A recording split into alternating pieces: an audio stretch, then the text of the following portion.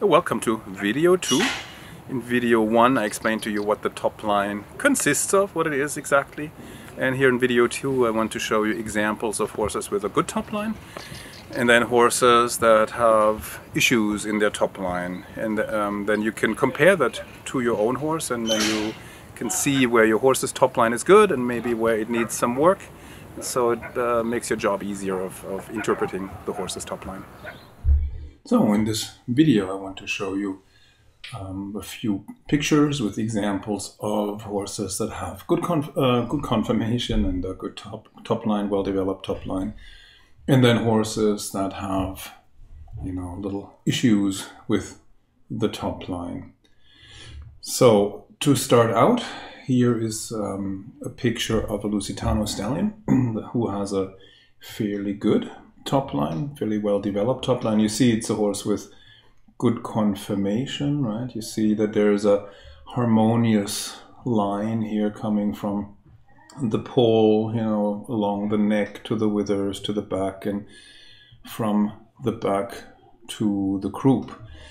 Um, so for a horse like this, it's not that difficult you know, to carry himself properly, balance himself properly, and uh, when the horse goes in good balance, then he will use the correct muscles. And the development of the top line musculature really is the result of the posture in which the horse stands and moves most of the time, right? And the um, posture in which the horse moves um, has a lot to do with conformation and uh, with the training. So, the better the conformation, the easier it is also for the rider to get the horse into a well balanced posture, and it, it's easier for the horse to find the right muscles, access the right muscles, so they grow and develop. Uh, if you have um, a horse that has conformational problems, then it's a lot more difficult for the horse to access the right muscles. It's more difficult for the rider to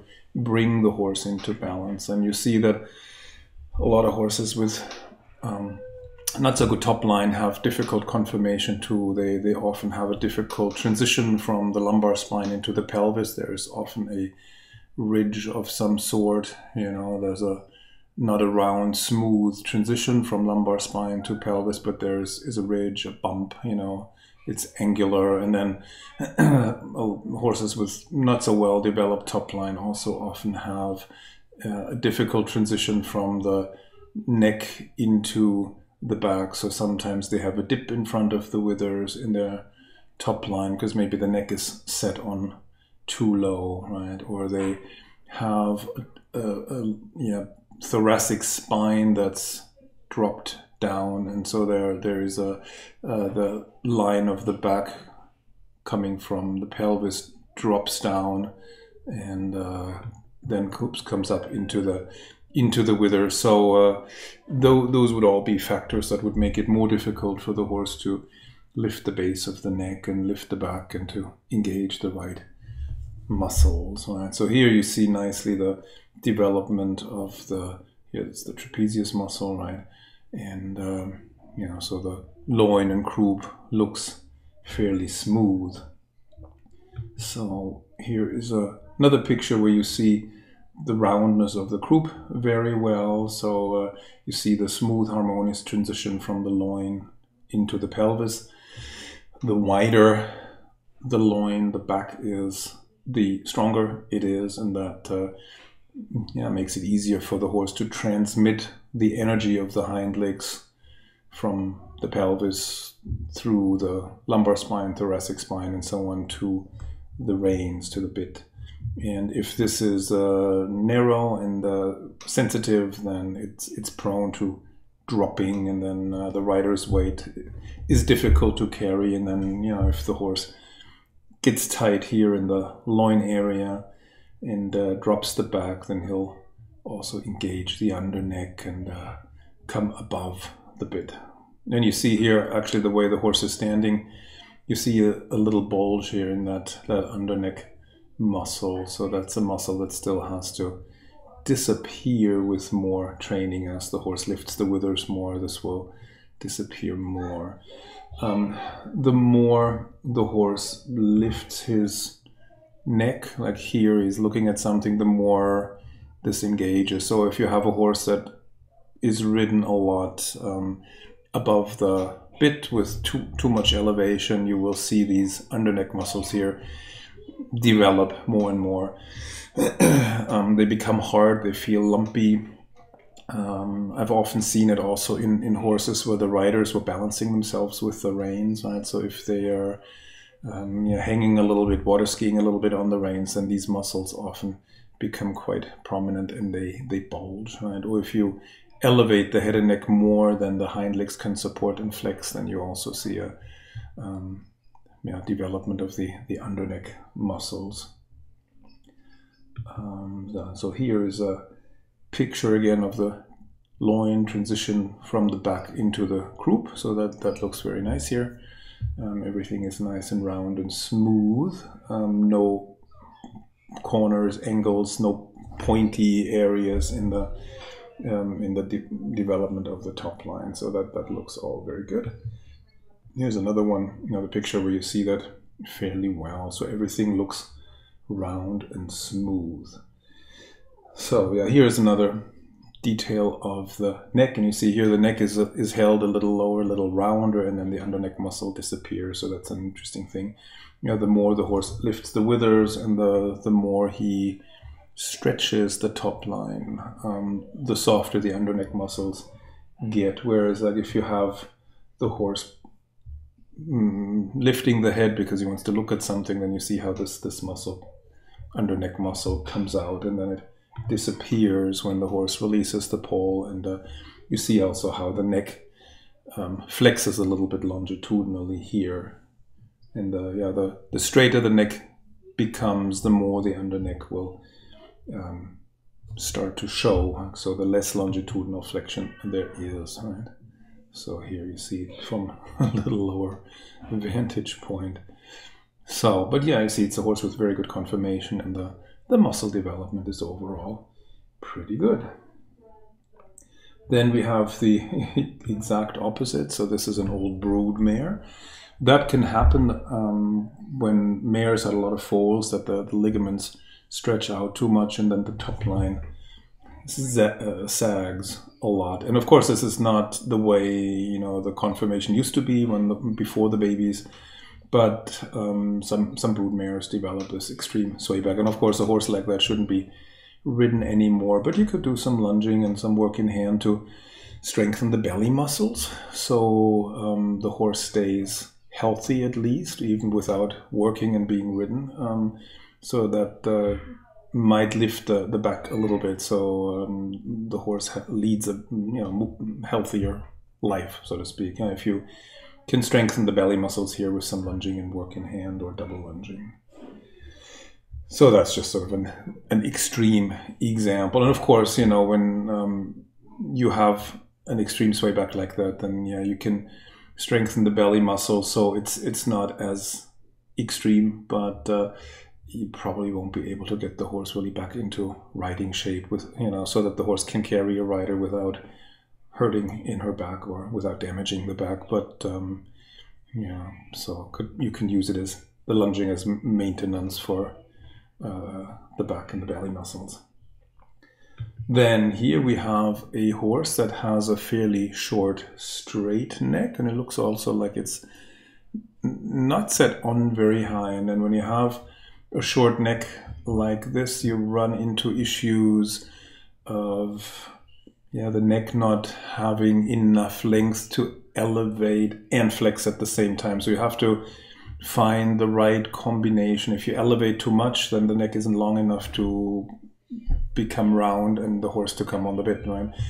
If you prioritize like a vertical nose, so to speak, so the horse is really round and on the bit, then you can't give him very much elevation. So that's always a, a balancing act that, that you have to find. How much elevation can I get so he's still round and on the bit? And how low does the neck need to be so he's on the bit but without falling on the forehand? Because if you if you lower the neck too much, the horse will fall on the forehand, right? If you elevate too much, the horse will come above the bit. So it's a it's a balancing act, and then the elevation always has um, a correlation with the flexion of the hind legs. Right, the more the horse engages the hind legs and flexes them, the more he'll want to elevate the head and neck. Right, as, as a result of the collection, and um, so you have to juggle all the different different parts. Right, and uh, so the, these horses then often have sort of a pretty even development of the top line at the top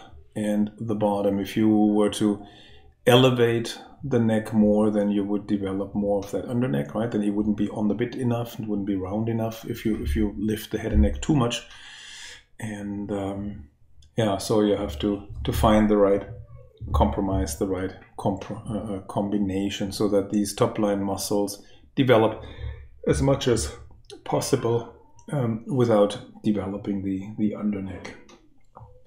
So then another example here that's that's interesting. You see that uh, um, correlation a little bit between a fairly straight neck that's held very high and then the development of the under neck musculature. Um, you have see a little bit of um, the trapezius muscle here, which is nice. Um, so if the horse goes you know on the bit through the back and lifts the withers, then you develop these muscles here more. The so this space fills out, which is nice, and then these muscle um, these muscles here will grow too. Um, and uh, you, you see how conformationally the neck is set set on pretty high. It's, it looks like it's uh, straight in itself, so it doesn't have much of a natural curvature, but it's uh, fairly long, so you can uh, you know you have enough space for some elevation and then some longitudinal flexion so when you ride the horse he will probably be able to disengage that uh, under neck muscle and uh, you know, engage those muscles more and then so if this is the horse's natural way of standing then he will develop these under neck muscles maybe just from standing around and you know looking like this right?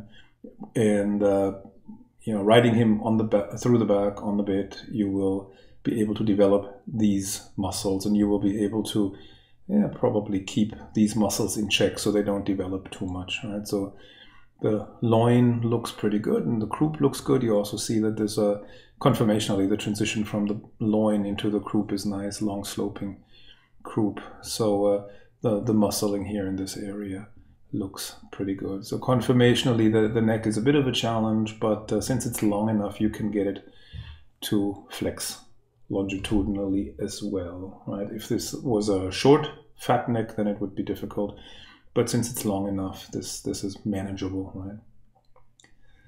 So, yeah, then I have a few more examples. So here you see a horse that yeah, hadn't done anything for a little while. So you also see here how the underneck is engaged and uh, the, the uh, top line muscle is not um, very developed here and uh, yeah, here it's not not a lot of lower back muscles, but you don't see that as well. But here you see the the neck, especially fairly clearly, and then we have a picture here. I don't know, a couple months later or so. Um, same horse, now a little bit more regular training. Um, I had been basically double lunging him and did, done a little work in hand with him, and then I taught some lessons with a student. Um, and uh, so you see how he's already changing shape, right? The top line muscles are already getting a little stronger. He's getting a little rounder. The underneck is receding, you know. So, uh, and uh, it's a horse that doesn't have bad conformation at all. He look, he's actually pretty good, and um, so as if you continue to train him more and uh, ride him in balance, you'll see how these muscles will grow more. This hole here in front of the withers will fill in and the underneck will, will get smaller and smaller. So and this is really not a whole lot of training between this picture and that picture. I don't know, two, three months maybe. And not, not very intense work either, you know. But uh, so he, he came along fairly quickly, actually. He changed fairly quickly. Yeah, then here's an interesting example. It's a Friesian, I think, right? And uh, there you see some of the, the conformational challenges that, that this breed can have. So you see here the um, yeah, line of the back drops from the withers and then rises again towards the, the croup and you see a little bit of an an angle here, a little bit of a, a pointy transition right from the lumbar spine into the pelvis, which always makes it a little difficult then for these horses to uh, tuck the pelvis and lift the lumbar spine. So the transmission of the hind leg energy through the back to the to the bit um, can be a little diff- more difficult to establish, right? And uh, so you can see because the, the line of the back naturally drops a little bit, um, it's more difficult than to, to lift the back, engage the hind legs, flex the hind legs. And then you, of course, if the horse finds that difficult, then you see that the muscling here in the loin area isn't very strong, you know, and it's, it's more difficult for this horse to access um, these muscles, right, than, than for uh, this horse, for example, or or this horse. It's just a different conformation type, right? So, uh, but these horses can also develop more muscles. It just might be a little bit more difficult or take more time to to do that, right? So, yeah, in terms of the neck, you know, it's set on sort of medium high, has enough length, and so on. So uh, the the neck is not that difficult. Um, conformationally, the loin seems to be the most challenging part, right? So, uh, yeah, the more you can get the hind legs engaged and flexed, the more he will lift here, right? So, uh, you may have to accommodate the back a little with the seat and distribute your weight over a larger area. Um, if you were to sit heavily on your seat bones here, then you would basically press the horses back down into the ground and then the pelvis would rotate in the wrong direction and then these muscles would atrophy more and more right so you have to um, make sure that your seat allows the horse to lift his his back you know and to engage the hind legs the back and the hind legs are connected um, if the rider's seat prevents the uh, prevents the back from lifting, then it also prevents the hind legs from engaging. Right? They're all connected with each other. Um, yeah, so this is so this is a horse where you see the, the, the lumbar spine especially transition into the pelvis.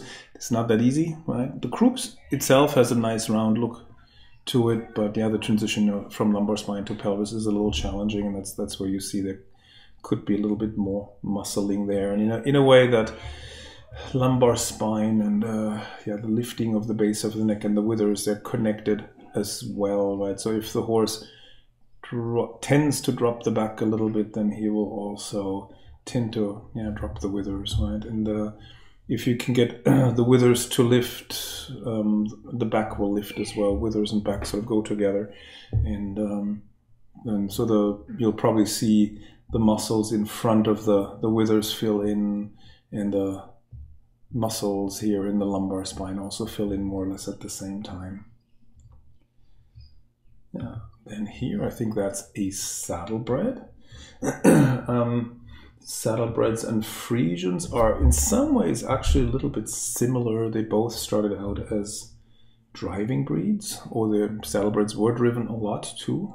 Um, so you have some of the same issues. A lot of saddlebreds have very long necks, like this, and often they're very set on very high, which then puts pressure on the on the back. And uh, often the backs are long and narrow, so they're not really made to carry a lot of weight, and that can make it difficult here to do, to build the muscle. So you see lumbar spine also is sort of the, the challenging area. The croup is nice, nice and round essentially.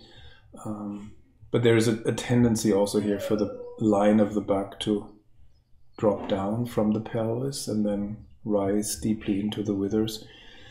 So for that conformation, again, it's not that easy to lift the back, and you may also have to be careful, you know, how much weight you place on your seat bones, you know, how heavily you sit. You may have to spread the weight out over a larger area and keep the hind legs well under the body. Um, if you have that back conformation together with very straight hind legs, that don't flex easily naturally, then it can make it more challenging, even can make it more difficult to get the back to lift. Or if you have hind legs that are naturally built out behind, which you also find in some of the saddlebreds and some of the, the Friesians, then you know the combination of a very high set neck and maybe a weak back and a, the hind legs that are out behind makes it very difficult to um, make the horse round and compact and, and lift the back and to develop the top line muscle. So here this horse luckily has hind legs that are underneath more. They're not out behind, which is good. That helps to lift the back. So the hind legs ultimately protect the back. The hind legs lift the back if they're engaged and if they're flexing. You know, the neck is nice, has nice elevation, nice length, and you have a neck here that's much deeper at the base and thinner at the top, which makes it easier if you have a, a neck that's very thick here in the throat latch area, then it's very difficult uh, sometimes to get these horses um, on the bit and uh, to release the poll. But so his, his head, uh, neck conformation is, is quite nice. Yeah, then here we have a horse that also shows a, a weak loin, right? There is no muscling here um, in the, around the lumbar spine. Um, so that needs to develop with more training, right? So in, if if the horses yeah, drop the back here, they won't be able to engage the hind legs, right? So this uh, you have to allow the back to lift and engage the hind legs under the body, and then as, as the hind legs engage and flex, they can tilt the pelvis so that the uh, hip joints drop a little bit, and uh, yeah, the pubic bone of the horse goes forward, right, and then that, that raises the lumbar spine a little bit, and then the whole back comes up. Whereas if the, the pelvis rotates in the wrong direction, like when the basically the dock of the tail goes up and the pubic bone goes back, then the lumbar spine drops down, right? And there are breeds that have that a little bit in their conformation, like you see that in Arab sometimes, you see it in some of the Lipizzans and that, of course, makes the horse a little bit more challenging to ride if that's the case. Yeah, so here, same horse, I don't know, a few weeks later maybe, um, with a little bit of training, you see how these muscles here are starting to fill in a little bit, and uh, the lumbar spine has come up a little bit so that here was the beginning, you know, the lumbar spine drops down from the from the hip, from the pelvis, and uh, here it's, it's a little bit more level. So then another example here is a horse that had no muscling uh, along the back and along the croup when we started working with him. He's also very dirty. and here's a, I don't know, seven months, I don't know exactly how long later, and you see how he's lifting the back more and uh, he's filled out a little bit in his pelvis and uh, so presents himself a little better. Conformationally, he's actually good. Um, here, the transition from the back to the croup is nice. Um, yeah, so he's looking away, so you can't really see the um, development of the neck muscles very, very well. Um, still needs to get more muscular, of course, but he's already improved some here th through his back loin croup area. Yeah, then we have, let's see here, a quarter horse, I think. Um, so, and of course, in quarter horses, you often have a croup high conformation, which is challenging um, because if the croup is high, then the back drops. So these horses will always also have a tendency to, to drop the back a little bit, and then it's more difficult to develop the back line, back muscles, top line muscles, and then uh, uh, if the withers are lower naturally, then the the croup there's also a, a, tendency then for the withers to to drop, and then the yeah, muscles here in front of the withers don't fill in so easily. So if you can uh, bring the hind legs more under and flex them, then um, and if you can teach the horse to lower the croup, then the the difference between withers and the top of the croup isn't so high, and then the horse can use his back a little better and uh, he'll be able to lift the withers a little so these muscles in front of the um, in front of the withers will grow more. so then we have, you see, I don't know, I think that's a diff different one, but similar similar issue. Yeah, they they have similar con conformation, right? And here, um, yeah, you see big hindquarters in a uh, in a sense, but looks also slightly croup high.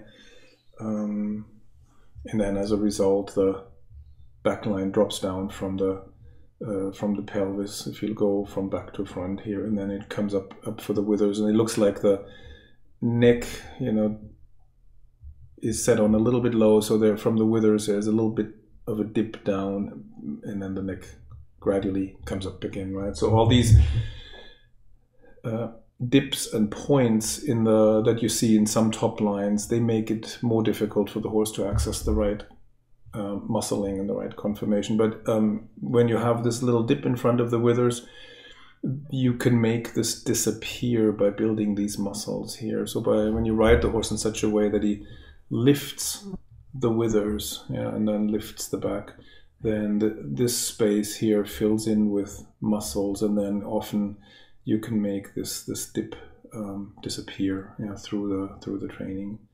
So it takes takes a while, of course, to develop those muscles. And if you look at pictures of old like Spanish riding school stallions and so on, they have necks that look like mountains. There, everything is filled in here at the base of the neck. It's all one solid mass, but that takes quite a number of years of good training to, to fill that in. So these muscles take some time. You know, you, you can often see an improvement in a few months, um, but to really fill out the holes in front of the shoulder blade, in front of the, the withers, for example, takes many years. Right? So uh, you have to be patient with that.